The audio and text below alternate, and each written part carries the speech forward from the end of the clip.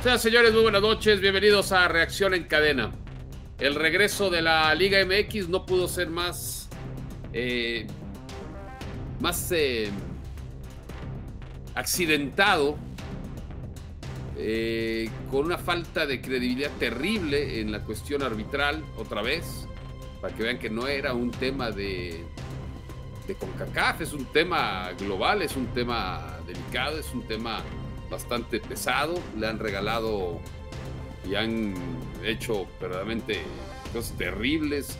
Lo que sucedió en el León Mazatlán, lo que sucedió en el Chivas contra Juárez, lo que sucedió en el América contra Atlas, pues son manifestaciones de un arbitraje bastante escaso de calidad. Ya lo estaremos platicando. Pero no es tanto eso lo que sucedió el fin de semana, sino la incapacidad brutal que tiene el Estadio Azteca para operar a su propio estadio. Dos partidos, uno con 11 mil personas, otro con 17 mil personas. Y no supieron hacerlo.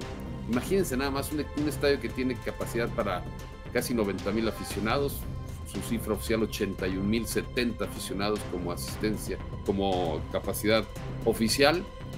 Y cuando van 18 mil personas a una doble cartelera no saben ni controlarlos.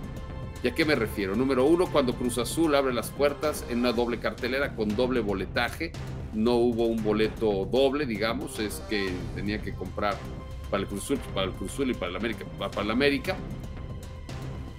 Termina siendo un caos y termina siendo un caos porque ahí están los cuestionamientos, ahí están los eh, testimonios, ahí están las quejas, ahí están las palabras de los aficionados. Primero, gente que compró los dos boletos del América, aficionados del América o de Atlas, no sé qué, cómo habrá sido en, en términos generales, pero terminó llegando al partido de Cruz Azul vestido del América, porque iban a ver al América, comprando su doble boleto.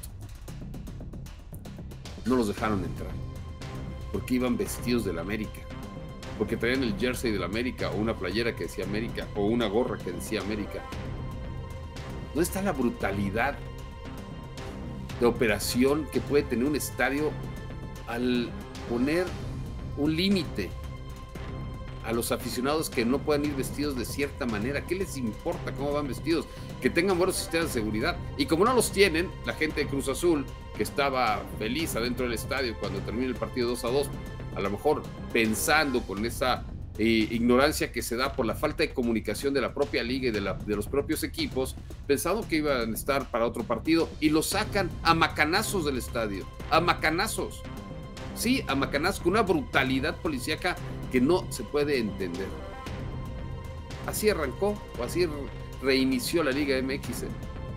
Ah, pero sí, el presidente poniéndole medallas a Messi, feliz. ¿no? Eso sí, feliz. Feliz de Felizlandia. Cuando se está acabando, se está cayendo a pedazos la liga en nuestro país. Iniciamos reacción en cadena.